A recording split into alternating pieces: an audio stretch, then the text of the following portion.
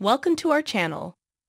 Nelly Furtado is shocked to learn Taylor Swift is a fan of hers in sweet backstage moment at 2023 MTV VMAs. Nelly Furtado and Taylor Swift fangirled over each other in a sweet backstage encounter at the 2023 MTV VMAs earlier this week. In a video uploaded to Furtado's TikTok account, the iconic Canadian singer, who recently re-emerged into the music scene with her new collab, Keep Going Up, with Justin Timberlake and Timbaland, is seen chatting with Swift and Timbaland backstage after the pair presented her the award for Song of the Year for Anti-Hero.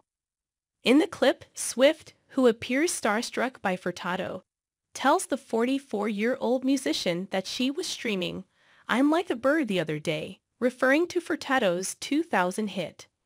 The Eras Tour, megastar broke a VMAs record for winning nine awards in one night. At the annual award show, Furtado turned heads in a long backless gown, to which she later showed off the look on Instagram in a fit check video, plus a post featuring a series of pics of herself joyfully posing with other stars and musicians. Thanks you for watching. Stay connected with us for more videos.